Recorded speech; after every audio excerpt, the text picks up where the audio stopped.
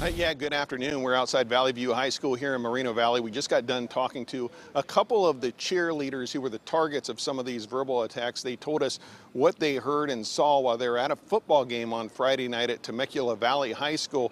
Actually, outside of Temecula Valley High School this morning, some supporters showed up to hold a rally in support of the cheerleaders here in Moreno Valley. Let's show you some video of this. These are some people who heard about what happened, decided to show up outside Temecula Valley High School and rally in support of the cheerleaders here in Moreno Valley. But here in Moreno Valley, the cheerleaders told me that during the game, they started hearing some racial slur, slurs targeted at them. They started hearing people making monkey sounds as they walked to the crowd to a concession stand. One of the young ladies told me that as she was walking to the concession stand, one person in the crowd stopped her, touched her hair, said she had nice hair and she didn't feel comfortable, uh, and some other things as well going on with that. We should have a comment here. Let me know if we get that up here from the cheerleaders we just talked to about that. If we we do have that. Here's a little more in their words about what happened.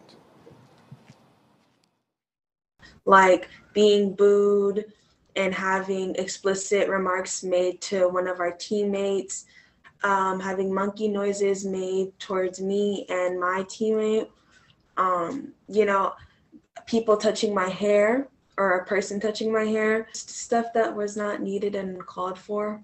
How sad and how disgusting that you guys decided to just spit mean words, um, degrade cheerleaders who are cheering for an opposing team and also cheering for your team as well.